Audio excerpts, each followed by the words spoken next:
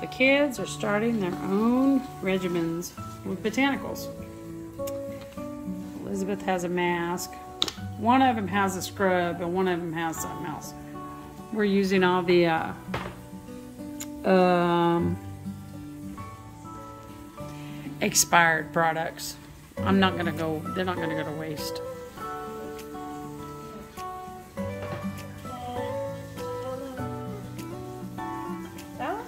Probably. Looks like enough. Put it on both, uh, both fingers. And don't get it in your eyebrows. Don't get it in your nose. Don't get it in your eyes or on your lips. If anything, just dot it on your forehead, your cheeks, your chin.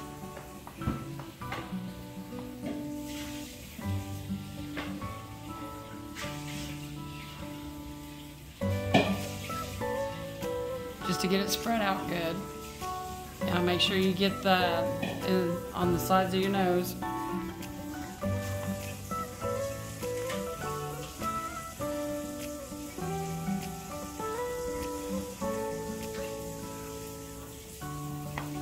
And then just start spread it, spread it in circles.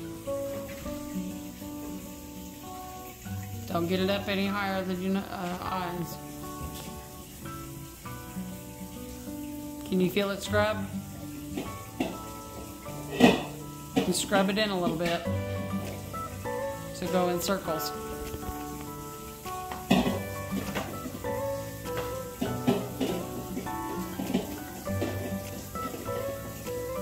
Especially where you break out, do scrub a little more when you're spreading it out.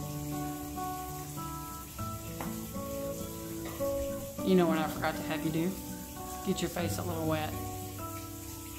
It's okay. It's a little late now. Put the rest of it on.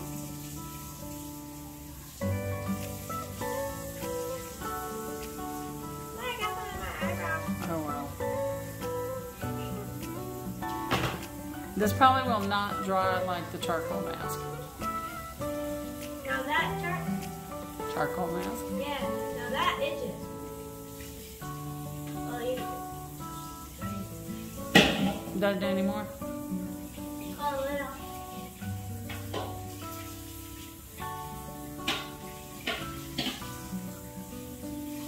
Can you feel the scrubbing now? How's it feel now? Say what? Well, yeah, it's called scrub.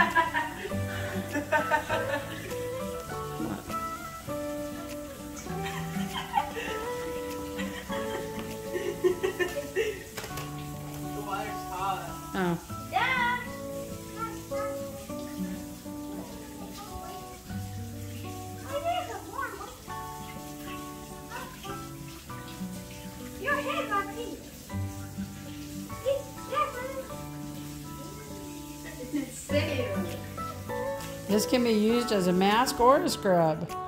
Yep. Smooth generously, gener- smooth a generous amount onto clean skin, avoiding the eye and mouth area. When used as a mask, leave on 10 minutes. Remove with warm water or wet facial cloth. Can be used two to three times per week. Oh no, he's a pale. to doing number three. Number three is botanical. Moisturizing. It's a little weird.